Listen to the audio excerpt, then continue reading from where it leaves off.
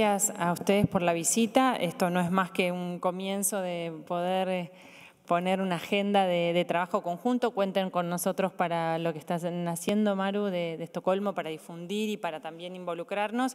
Y quiero decirte que varios de nosotros hemos presentado proyectos de Sistema B, de triple impacto, para que el Congreso de la Nación este, sancione una ley que dé marco, también en función de justamente apoyar al sector privado en este esfuerzo que está haciendo y lograr estos proyectos de financiamiento. Una de las preguntas que también teníamos y para un próximo encuentro tiene que ver cómo hacemos justamente para para crear las, herramientas desde el Estado o desde acá, tal vez son un poco más limitadas, en acompañar en, esa falta de proyectos que, vos decías recién, el diagnóstico para el financiamiento que sabemos que existe, pero que eh, hoy eh, nos hace falta capacitar o armar o generar esas herramientas para acompañar. Así que ese puede ser también otro tema de agenda.